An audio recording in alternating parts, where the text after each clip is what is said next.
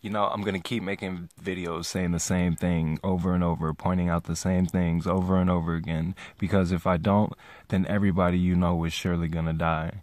We need to get to the center of our flat earth where every compass points.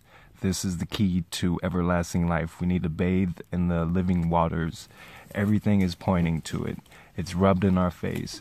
Blood over intent will open your eyes and your heart, and it will take you there. There's a sun above, there's a sun below. The green ash trailing light shoots out the middle. This is Aurora Borealis, this is the great mother Typhon, the mother of goddess of creation. And, you know, this is the type of stuff they keep from us. And we need to wake up before we're dead.